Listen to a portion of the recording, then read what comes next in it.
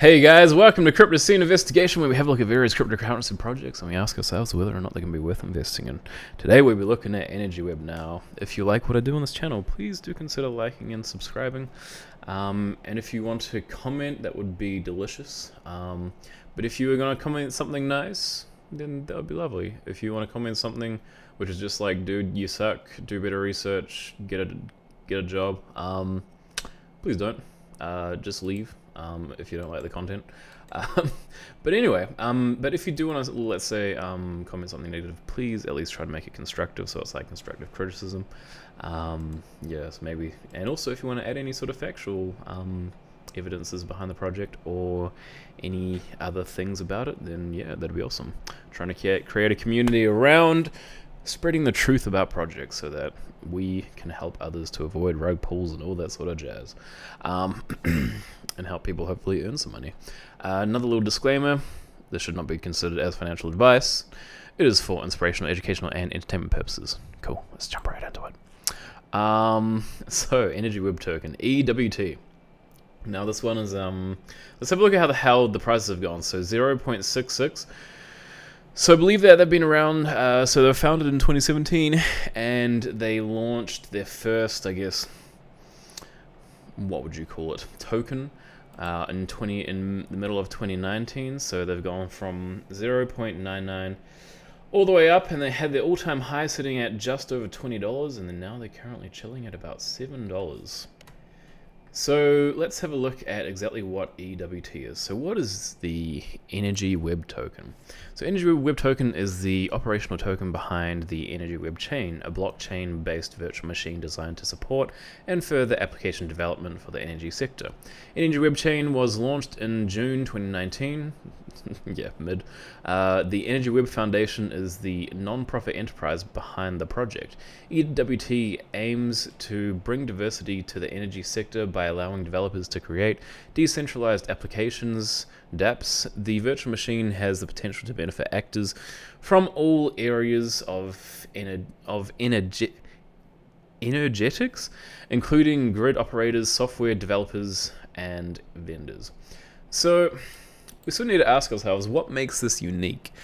Um, and so what I've seen, so the main sort of thing which makes these guys unique, so feel free to pause the video just have a bit of a squiz over that. So what essentially makes them unique is that they are trying to specifically focus on the energy sector with this sort of jazz.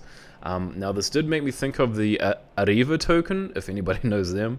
Um, and that was an absolute rug pull. Um, but we, but I think that one of those reasons is because of the actual tokenomics of the project were just pretty horrendous, to be honest. And I think it was just an absolute rug pull looking from like a mile away. So anyway, um, but this one, I don't think it is a rug pull because, let's look at the two, well, two big factors. The fact that we have a $228 million market cap, that is heckin' massive um, and the, and the rank is 187. So what's interesting is that this says token, but it's listed under coins. Now I opened up Shiba Inu because I wanted to, to, show that for comparison. So this is actually listed under tokens. Um, so I'm not so I'm not exactly sure what's sort of going on properly with that. However, um, I do believe that this is probably being built on the Ethereum network because they do quote Ethereum a bunch in what they actually talk about. So let's have a look at uh, some of the token holders. Now, what's awesome is that um, is that it doesn't seem that anybody has a huge amount of, I guess, way on the market when it comes to this sort of token, right? So the highest wallet we currently see is at 5%, and the other, uh, so number two and number four are uh, the Uniswap um, contracts, um, and then the and then the others are generally below 2%. So to me, that's quite attractive that is quite an attractive thing to be looking at. So I do believe that, um, that in terms of the, the, tokenomics, it is quite good. However, while researching the project, I did not find, so amongst all of these 236 tabs, um, I did not actually find any information about how the tokenomics worked. However, um, I did watch a video which actually said that they talk about it being a, um, a what is it called? They talk about it being a proof of authority token. And then so we jump over to uh, BSC check to see what we can find. So it says warning so we can buy and sell, which is fine. Ownership is not renounced, um, although it says 0%. So it's kind of like, is that really that much of a bad thing? Um, so yeah, so it kind of treats it as if it is a bad thing. Um, if anybody knows why that is a bad thing, please do feel free to share in the comments about why that would be, because um, that could be helpful for possible future videos. Um, and so in terms of things being locked or burned, uh, I don't think that they can read everything, um, but it says that that that the liquidities are okay, but yeah, it doesn't seem to be hugely attractive. Hmm, in terms of that sort of jazz. So token supply, so top holders liquidity is okay for that. Um, yeah, so I, I, wouldn't say it looks too unattractive according to those stats. Token sniffer uh, looks okay here. Ownership renounced case, so um, so it has not been renounced. All other holders possess less than 5% of token supply. A wallet contains a substantial amount, which is quite, which is kind of funny because the wallet which contains a substantial amount is literally just above 5%. So yeah, um, so I think with that being said, it could potentially, I guess, cause some small level of rug pull if they were well well well not a rug pull but just like just like the price would just dip quite heavily if if their top wallet was to you know suddenly sell um, but as I say, I don't think I'm personally too worried about that, but we will have a look why. Uh, so less than 0.01% is burnt. So it's a bit concerning with looking at, at, that sort of jazz. So we have a look at some of the Reddit stats. Um, so the Reddit stats have got 4,000 subscribers. Um, they've been going pretty okay, man. Um, so, you know, had like a few fluctuations here and there. I mean, they had their massive blow off um, top during that sort of time of the year, which was just around the April slash May-ish area, or even a little bit of March. Um, yes, I mean that's kind of okay. And so yeah, so it looks like there hasn't been a huge amount of sort of social interaction. I did, I was interested in joining their, their Discord, but yeah, they they asked me to do extra things which I didn't want to do. Um, so yeah, but anyway, um, so if anybody's from the Discord listening, please do not consider that hate. Um, yeah, yeah. So anyway, so we have a monthly discussion. It, I haven't actually sort of seen if there's maybe anything on here which sort of we'll have a look if there's any sort of scam comments it doesn't really look like these are sort of scam comments. They just look like standard users who just kind of ask about things and answer things. So that's cool. I think that because um, I did actually have a look at some of their Twitter uh, posts as well to see if there was any sort of bot comments or anything. And it looks like these guys are very legit. I didn't see anything which is you know just being absolutely copied and pasted like hashtag moon ha hashtag I don't know rocket ship. Um, yeah. So we also have a look at the uh, followers on Twitter and they seem to be going pretty good. So uh, almost, almost, uh, so just under four thousand. Um, so that's actually quite a small chunk of what they have actually had previously, um, because it says that they have about fifty something thousand. So that's all good. So we continue moving on. Look at the Google Trends, EWT, and Energy Web is what I searched for. Not exactly sure if actually we'll check if so it looks like EWT only really has to do with the actual token itself, which is good. Um, so when we Google it, so these stats are going to be pretty on point. So for the last 30 days, we've had a height over January 11th.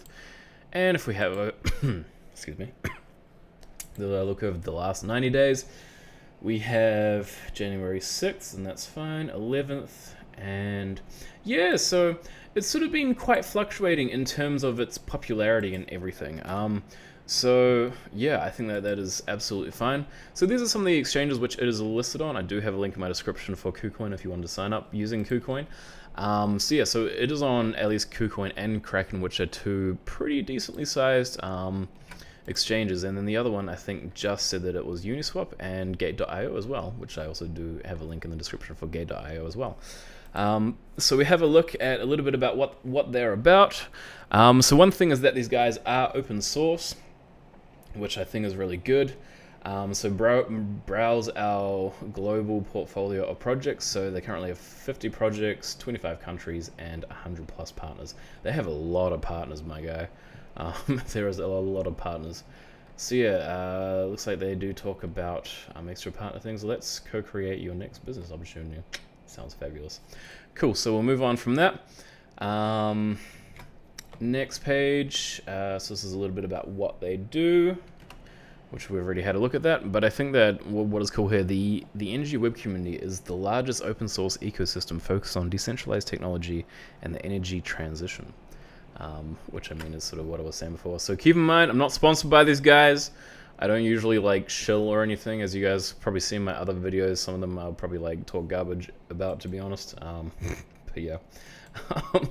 anyway, so these are some of the advantages. So track the entire life cycle of your low carbon energy create new product offerings, for example, 24-7 green energy for corporate consumers, transparency platforms. So what's awesome about these guys, and actually, uh, actually we will look at that very shortly. Um, so produce locally, sell globally, fabulous, access new customers, uh, enable crypto buyers and global green digital entrepreneurs to use your energy supply. Trusted data, um, and then interoperable technology. So all stuff which is fantastic from what I've seen. Um, and so these are some of their partners. Now you probably want to like pause on some of these. Um, I don't know if you guys, Blockchain Capital, know those guys. Um, EDF, Electric Blue, gosh, that's familiar. Um, Eon, Equinor, I believe I've heard of them. Exelon, Photon, uh, GE, that's such a popular logo. Hit Hitachi. Interesting. Um, innogy, which I'm assuming is like a combination between in innovated energy. PG&E. Uh, maybe you guys might recognize Shell. Shell is a big boy. Shell is a big a, a, a big name. Um, Solara, I do recognize that name as well. Um, Telios. So yeah, so Trust Power, yep, know those guys. Vodafone, yep, know those guys. Um, Volkswagen. So it looks like these guys have actually got some pretty so non-profit and media partners, Blockchain News, Energy Blockchain Consortium, and Smart Energy Portal. So I think that these guys are quite cool, to be honest. Um, I think that they are I think that that they do have some decent partners. This next thing which we'll be looking at is about some of the co-founders. So Rocky Mountain Institute, um, so they are one of the co-founders. I had a look at their revenue and they showed all the way up to 2019, which they had 36 mil revenue. So they're not just a bunch of like poor hudders. Um, and we also have uh, Grid Singularity. So Grid Singular Singularity is a, is a world-leading blockchain technology developer in the energy sector. Founders and key staff includes core Ethereum blockchain developers, ex experienced energy executives, energy regulators, and technology entrepreneurs. Um, and so our RMI is was also an independent non-profit founded in 1982, which transforms global e energy uh, used to create a clean, prosperous, and secure low-carbon future. So I love what these guys are doing in terms of their, you know, like trying to make the world better and you know, like being green and all that jazz. So I saw this. So this is from Securities.io, and this is really fascinating. So they actually tried to fix a bunch of uh, solutions with this, so feel free to pause the video just to have a read of some of that jazz, because um, I'm not going to read just to sort of save us a little bit of extra, a little bit of extra time. So what they help with, they help with energy waste. The current independent nature of the world's uh, energy infrastructure is inefficient in many ways. Now let me, now this part here was something which really was attractive to me. So it says, so lack of transparency. The average energy company user has no access to vital information such as overall energy wasted on the network. They are not privy to any sensitive company data. Anyway, I'm just going to summarize it. So essentially, they they were saying that like that like because of of this project, a part of it sort of being open source and a part of us being able to um, be able to see these traceable logs um, with with access to near real real time data, we can actually see where the energy is going, which is which I think is fantastic. So you can get passive rewards. Um, so it's a growing network. How does energy sort of thing work? So you can see some of the extra partners here. Um, so Energy Web Chain, Oracle's consensus. So they got a few other things um, which we won't be reading through, uh, but feel, feel free to look at the article. On securities.io. So this is a little bit about um, about how I guess the te technology kind of works. So you've got toolkits, utility, and trust, and then so energy web chain, and then so validator nodes and, and utility nodes. So the validator nodes is a part as a part of the POA slash proof of authority network, uh, which we have seen, um, and so we can see the the bridges, TX relay, and all that sort of jazz, application registry. Um, and we continue to move on. So I didn't do research on who these guys are, um, but these are the Energy Web Foundation Council. Um, so yeah, if you guys want to have a look at them, you are very welcome to. Um, but the council doesn't really matter that much to me, to be honest. But you know, you guys might be interested in, in that. So this is some of their team. Um, there's one thing about this kind of team thing which bugs me a little bit. Um, it's the fact that they don't have the most, you know, like pivotal players in top, right? You can go and select leadership, so, you know, people from Energy Web are watching this video, that would be awesome if you could show... Oh, and there was one other issue with it. Um, so yeah, we will go into that soon. Um, so yeah, so we do see a little bit about who some of these guys are, which is cool. Um, and so I've also never seen this before. I've never seen a download headshot button. Never seen that before. That is just that is just straight fascinating. Um, so we have over 500 connections on LinkedIn. So this fellow uh, was the principal uh, of uh, Rocky Mountain Institute, um, which I, I feel like they're like shut down because I couldn't find any information sort of telling me, or when, when I when I did my brief research of uh, Rocky Mountain Mountain Institute, I couldn't find any sort of um, monetary data after 2019. So I'm not exactly sure what happened with it. And then so now he's with Energy Web, so Chief Executive Officer, Chief Commercial Officer, Co-founder, and Secretary. So we can see some of that. And then so we have uh, Rafaela, if I'm pronouncing that, or Rafaela. Sorry, I feel like I'm butchering your name. Um, so CFO and Secretary of the Council. Uh, it's a bit strange how she doesn't show any pictures for some of her previous background. Um, yeah, so she's one of the board members and the chief financial officer.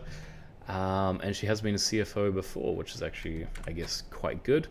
Money, Manny H. Um, he, uh, so he, wow, he's actually worked with Oracle. That's cool. Uh, so this fellow's been with Oracle, which is awesome. Uh, Mimos, where he has been, or MIMOS, where software architect and principal solution architect, and now he's a chief technology officer, which is fantastic. And we have Ian, um, who is the director of global delivery, and he was the principal of the EW Flex and also the principal of the affiliate engagement. Um, and he was also working for Rocky Mountain Institute, which once again he left in 2018, and he went to join um, he went to join Energy Web, which is uh, which is also quite neat. And we've got one more person, which is Sam, and then he's the director of operations at Energy Web. And some of his extra background, so he was a senior associate, but he was also doing uh, the research and, and collaboration for Energy Web, um, as, as well as the research and market, uh, as well as the research and market development manager. Sorry, that felt like a bit of a mouthful. Um, so he was working for Inernok, Inner, I don't know how to pronounce that. Uh, so he was a systems specialist for them, and he's also uh, worked for Amingani. Gosh, I feel like I'm butchering all these names. Sorry, guys. And he was also a mountain bike guy. That's cool. Um, that was in 2011. So anyway, um, so let me let me give you guys my sort of final thoughts or my overall thoughts. So here are some problems with which I have with the with this project. Three main problems. First one, couldn't find a genuine roadmap. Now, if you go to their main website, they do say a little ecosystem roadmap here, which you which you can briefly have a look at, and they talk about consortia chain. Um, so you know, relay chain, consortia, relay chain, and then so they talk a little bit about uh, parachains within that. Um, but they don't tell me when this is going to be implemented. They don't tell me. Um, they don't give me dates. They, they don't give me estimate ETAs. I don't like that. Um, and they don't they don't even say whether whether or not these things have already been implemented. Or oh, sorry, it says uh, in the first quarter of 2022. So these could already be implemented, and we may not know that yet. Um, but I'm pretty sure they had an announcement talking about that on their actual Twitter account. So they actually, um, so we're thrilled to announce our partnership uh, to build uh, with Parity Tech to build Energy Web Consortia Relay Chain in 2022. So maybe that's what they're working on. Maybe that is a part of what they're working on. Um, my other problem is is this whole. Um, I mean, this is just a website layout problem to be honest, but yeah, if they can make it easier to like see the leadership, that'd be great. Um, and the other thing is I can't see, I can't find any information of how the tokenomics are distributed, but here are the extra positives to sort of counteract some of this jazz. So doesn't look like it's dead. Looks like it is definitely still alive. We do have members who have worked previously and have got experience. We have a market cap of 200 over 200 million and the rank of 180 187. The max supply is 100,000 and the total supply currently is sorry, not 100,000, 100 million, uh, and the total supply is currently 48 million. The fact that we can actually see some of these extra holders, and we see that that nobody has an overarching reign over um, over the actual tokens, although there could be the potential for them to be able to, you know, go and like like print extra tokens essentially. Um, that that could be wrong. Um, and so the fact that they approve of authority is quite good. So I think in terms of the actual thing, whether or not you should invest in it, here is my answer to that. Do what you want. um, it looks like it's gone quite a bit down, so we'll actually have a look in the last year. So it's sort of trending a little bit more on the downside. We'll see if we can maybe have a brief look at the RSI, since you know that gives us a bit of a bit of a brief indication. So we're currently sitting at 37, um, 37 slash 38, whatever you want to call it. So I would say, to be honest, it's it's all right. Like it. If you do want to invest into this project, now is probably a great time, or you can wait until the RSI dips down even further. Um, maybe when it when it um, dips into into like the sort of uh, maybe even early 30s, and then you can possibly purchase them. But I think in terms of long term, I think that these guys have some incredibly wholesome goals. Um, I think that they are super genuine. Um, and I think that because they are also only listed on KuCoin, or sorry, um, they are listed on KuCoin, Gate.io, and Kraken, um, they still have opportunity to be listed on, let's say, Coinbase and Binance and Crypto.com and some of these and some of these other bigger um, bigger exchanges. So when that happens, the price is likely going to go a lot higher with these guys. Would be my sort of thinking. Anyway, guys, that's my video. Please consider uh, liking and subscribing once again, and I got a Patreon. Please consider joining. Want to create a community out of this. Um, because you know, let's bring some people into the truth about crypto stuff. You know, um, yeah. And once again, if you do feel like commenting, um, yeah, I would. If there is anything which I've said wrong in this video, please comment um, what I have said wrong, um, and maybe give me like a source, or maybe sort of tell me where I went wrong in here. Um, yeah, because you know I'm I'm really interested in uh, trying to spread the truth about this. So yeah. Um, you can also get early access to my videos as well if you become a little advocate. So anyway, anyway guys, thee well. Thank you for joining me.